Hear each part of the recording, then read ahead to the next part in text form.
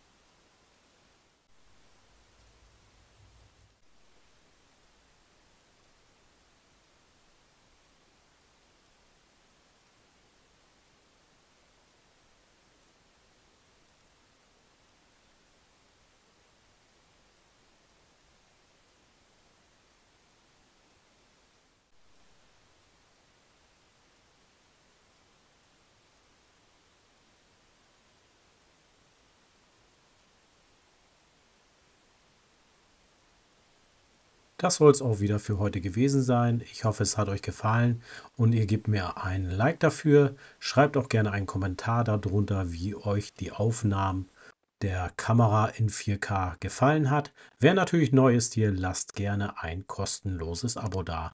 Dann heißt es für mich, wie immer zu sagen, bleibt schön gesund und bis bald. Tschüss.